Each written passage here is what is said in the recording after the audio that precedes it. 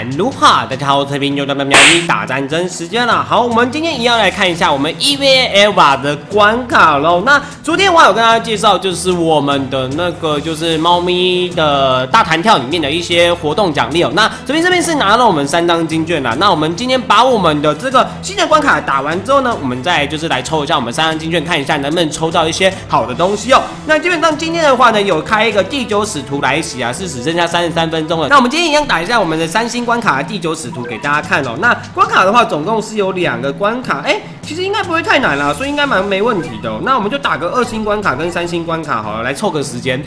好，没问题。那我们一样用我们的机甲部队来打一下我们这个第九使徒哦。第一个是明日香还在里面啊，初级，Let's go 啊！所以第九使徒的话，应该就是我们的那个明日香操控的那个机甲的。魔化是不是？那这关打完的话，好像就会获得我们这个有的那个初号机机甲的那个头的那个就是长颈鹿猫哦，应该还算是不错。那这关的话，一开始会先出现我们一只松鼠，还有我们一只企鹅。那目前打的关卡是二星的，所以应该还算是蛮简单。待会再去打三星的，给大家看一下啊。那这边的话，我们就先出一下我们的四千五百块的二号机的豹形态啊。这个角色我觉得应该要被我用到用好用满了。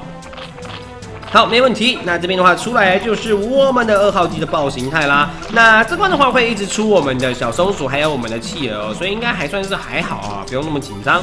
这边的话呢，我们再出一下飞轮碰塔之后，应该就会出现我们那只第九使徒了。好，果然是没有问题，是出来了。哦，我记得这只的话好像还蛮厉害的，因为它好像是一个还蛮远攻距的角色，而且攻击速度还蛮快的。但是这边的话呢，先被我们飞准打一下，二号机补一下，直接哇一个连续 combo，然后顺便把塔给打爆。好，那这边的话呢，我们初级打完之后就换我们第二关是我们困难哦。那二星关卡刚刚感觉起来的话，就是有稍微那么一点点硬啊。然后如果你是一只新手账号的话，应该没有那么简单了。好，那再来就是我们第二关卡困难，这关卡应该就会再更难一点点喽。那听我们的关卡的声音都变得有点恐怖了，所以应该没有那么简单。好，那一开始会先出现的是我们的红色小红兔，那后面跟的是我们一只的大象哦。那过一段时间之后呢，就直接出现了我们这只第九号使徒啦。那这边的话呢，我觉得第九号使徒刚刚的那个攻击范围算是还蛮远的，所以大家要小心一点点，尽量叫一些就是比较远攻距离角色出来打。我觉得我们那个二号机就很不错了，而且这关的话还有一些我们红色的小敌人，就可以用我们二号机先来打爆打爆他们了，应该是不错的选择。好，这边的话第九号使徒踹一下，我们所有盾牌又全部都毁掉，而且被踹的那些角色好像还有我们的那个攻击力下降哦。对，还有攻击力下降，那他的攻击速度真的很快啊，基本上就是。吼一下之后，马上就跳起来打了。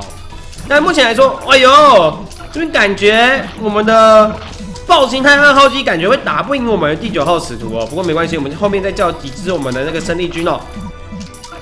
哎，他的攻击距离真的超远哎。不过我们二号机是顺利把我们大象给打死了，但是这边的话呢，我们的第九号使徒又把我们一大堆盾牌给打爆了。我觉得第九号使徒跟我们昨天打的第五号使徒真的都还蛮厉害的，没有那么没有那么简单哦。我这边画第二号机没问题，又在把它给打飞了，而且现在已经打出了越战越勇的姿态了，所以代表我们的二号机也快要不行了的感感觉。不过这边的话，我们已经把我们这个第九号指路打到很后面，而且三下 KB 了，应该快死了。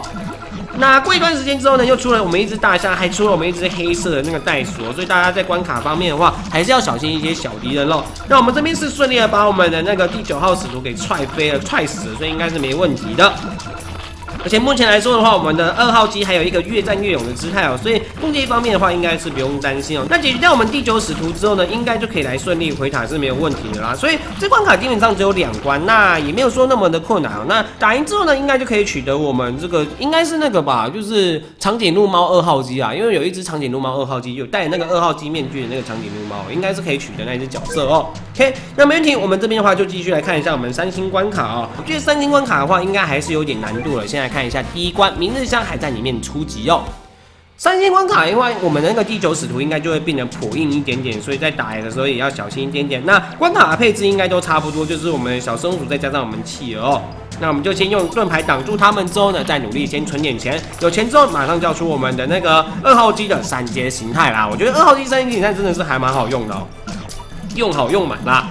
好，那我们这队的话呢，就先继续努力出我们的盾牌，再加上我们肉骨肉，先来打一些经济出来。有四千五百块之后呢，马上叫出我们的啊二号机的豹形态，没有问题哦。那有更多钱之后呢，就可以再叫出其他的机甲啦。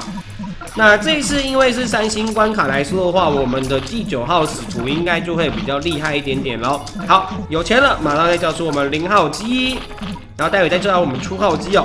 我们的 L 把所有机甲都登场了。那第九号使徒这边的攻击范围也算是蛮远的啦。不过初级的话就真的还蛮简单的。我们这边二号机打一下，基本上我们第九使徒就直接死翘了。好，再就是我们的第二关，也就是我们最后一关啦。明日香还在里面啊，困难哦，应该是没有问题。这关的话，刚刚打起来其实就觉得有点硬了啦，所以就是要比较小心一点点喽。那记得还有大象跟我们的一大堆我们的小红兔，所以大家可以再带几只针对我们远攻距离角色输出的角色出来，应该也会帮我们的二号机造成不错的一个帮助的。好，小红书这边的话，我们就先用盾牌来把它挡住，之后呢，再叫出我们的肉骨兽。那这关的话呢，我们的九号使徒会直接自己就是慢慢的直接出来哦，所以大家这边的话要赶快来把阵线补起来，或者赶快把我们钱筹到我们四千五百块，才可以赶快叫出我们的那个二号机的狂暴模式哦。好，那这边的话呢，我们就努力打。那大家其实可以可以把我们肉骨兽换成一些打我们红色敌人的角色啊。那子明这边的话，是因为就懒得换队伍了，所以我就随便乱带啊，根本超瞧不起这个关卡那种感觉，好不好？没有啦。好，这边的话呢，二号机是出来了，红色小红兔是真的蛮多的，所以大家可以就是针对我们红色敌人来打一波伤害哦，那就可以让他们就是更快死亡，我们拿到更多的经济。这边的话，我们的豹形态二号机已经先 KB 一下了，哇，直接被大象打到快挂掉哎！那我觉得这关搞不好重点根本就不是使徒啊，根本是大象吧？哎，真的是大象哎！我的天，这边直接被大象给 K 爆哎，真的假的？好，那我们这边可能要先出一只美女神打一下远攻距离角色哦。大象直接两两三下直接把我们的二号机的那个狂暴形态给打爆，还是怎样？所以这关的王根本就不是地球使徒啊，根本是大象吧？好，没问题，我们派出美女神啊，大象克星。这边又来了一只大象哎，所以这关当中在打的时候，应该也有在讲说大象真的是还蛮麻烦一只角色哇。这边的话，黑色袋鼠也是出来了，哇哇哇哇，哎，第九使徒这边贴到美女神哎，开玩笑了吧？好，这边大象应该要死亡，死亡之后马上叫出我们零号机哦，不然我们美女神就要被打爆了。那黑色袋鼠也是一个蛮悍的啊，直接把我们美女神给打死了。那马上叫出我们的零号机出来。那零号机这边又被我们那攻击下降，我感觉哇，这关感觉真的就有点困难嘞，没那么简单。我觉得刚刚我们二号机被大象给打爆，就是一个比较夸张的地方哦。哇，加油啊，零号机！哇，零号机挂了，哎，我要输了，真的假的？哇，那看来这关真的是不能乱带队伍了，这关应该要带一些能够打我们那个黑色敌人部队。再嚣张啊，泽平输了吧？我原本以为这关很简单，可是我错了，好不好？我们改用红色部队来打打看好了。好，那我们刚刚太轻敌了啦，所以我们这次换了一套队伍，主要是带上我们魔法少女系列，再加上我们 A B A 系列，我就不信打不赢他，好不好？那目前来说，刚刚其实前面就有很多小红兔了，我觉得先把小红兔赶快解决之后呢，再用一些远攻巨猫猫来打大象，应该是一个不错的选择啦。刚刚是因为。二号机是直接被大象给打爆，所以我觉得一开始应该要先出一些能够就是远攻距离打大象的角色，应该会比较好一点点哦。然后再加上几只小地藏，有没有？直接用小地藏来把我们的小红兔给解决，然后再用我们远攻距离猫猫来打大象，这应该是一个不错的选择。在下一只大象来之前，先把这只大象打死，然后叫出更多厉害的机甲出来，应该就会比较好一点点喽。好，目前来说的话呢，四千五百块就先叫一下美女神。那后面的话还会出我们那个袋鼠啦，袋鼠也是一个蛮麻烦的一个存在，所以大家在就是建议大家一开始先就是先把一些就是比较棘手的角色先打死会比较好一点点喽。好，那我们的那个第九号使徒是会踢到我们美女神的喽，所以这边的话大家要小心一点点的。美女神这边的话攻击距离可能真的是没有到那么远哦，会被我们第九使徒给踢爆啊，真的很扯，真的会被踢爆哦。好，这边的话我们就继续努力。看一下能不能赶快把我们这只大象给打死啊！我觉得这次感觉出版也是有点错误哎，因为不该应该应该不该先出美女神的。喵魔加油，你可以的！打爆大象，可以一打打直接打死，然后再就是哇，我这边感觉又出错了。黑色袋鼠，看一下能不能用那个零号机打死。那我们这边其实还有带上小地藏啦，应该是可以用小地藏打。哇，不行，直接爆开！哇，尴尬！